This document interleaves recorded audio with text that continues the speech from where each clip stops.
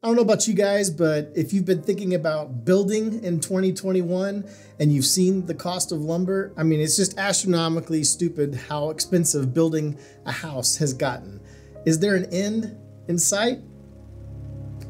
Let's talk about it.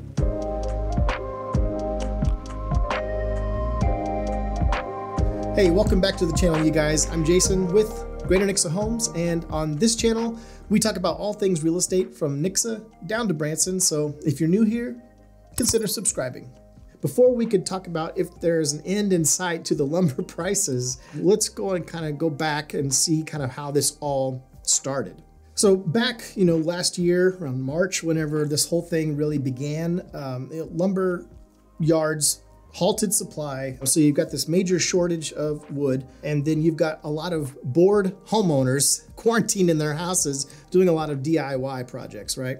You know, interest rates kept getting lower and lower. Government help keeps coming in and keeping people in the market to buy homes, which, if you uh, are aware right now, millennials are the ones that are uh, buying up all the houses. We're actually exceeding uh, baby boomers now. These are the number one uh, demographic of people that are buying houses uh, in the last five years. Um, but they're just now getting to that age where they've got kids and they needed to move up in house. Uh, they've got solidified jobs, uh, their savings are building, and so now they're in a prime position to be buying houses at unprecedented interest rates.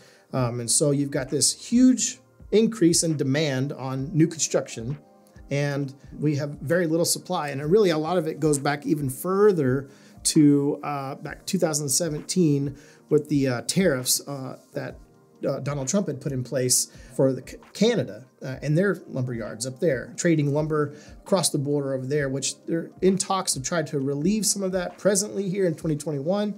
We'll see. Uh, hopefully, that will help alleviate some of the uh, pressures that we're seeing right now. But really, it goes back a, a full year, and I want to show you guys kind of a chart and then look at what $50,000 worth of lumber would get you back in 2020 versus today.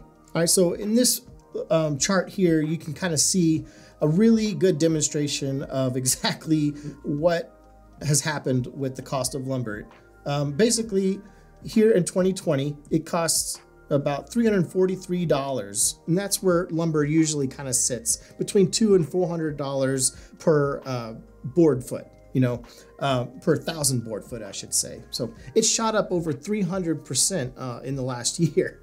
Uh, we're now at well over $1,300 per thousand uh, board feet uh, of, of lumber. And that translates into, you know, usually $50,000 worth of lumber would be able to build you about 10 houses complete and, and one that's just kind of starting. Whereas in 2021, $50,000 of lumber will help you buy two and maybe help frame get started framing on one other. And that's just crazy to see how how things have jumped. I, I, feel it in my business right now. I've got several clients who you know want uh, to finish projects and they've just been sitting on hold. I, I, go to birthday parties and all kinds of events where I'm, I'm networking with people and talking with them, and it's all the same story of well, we had you know started this project, we were building, and then we had to just kind of put things on hold uh, until the price of lumber goes down. And so, I mean, really, that's what it all boils down to: is when when are we going to see the price of lumber uh, alleviate, so where people can feel good about actually purchasing lumber again and, and getting started finishing some of these projects. Um, I don't know. Uh, a lot of economists have said that there's really not going to be an end in sight in the near future. We're talking maybe 18 months to two years. The end of 2022 is where most economists have predicted that the price of lumber will finally start to calm down and get back to normal again. So I just wanted to make this video to kind of put it out there. If that's something that you really have been kicking around, it still may be worth it to do an existing home for now if uh, you can put off building for potentially three to five years and be able to build at a much lower uh, cost, then that's would be my suggestion. So I'll put a link for uh, this down in my description. The video, I've also um, got a blog that I'll be coming out with here very shortly, and I'll put a link to that as soon as it comes out too, uh, to kind of talk about this in more detail, uh, really. But uh, hang in there because I feel like um, hopefully, like I said, if um, we are able to get some tariffs relieved from Canada, that will give us a little bit of immediate relief, but it won't be near where it has been, you know, in the last, you know, 10 years, I guess.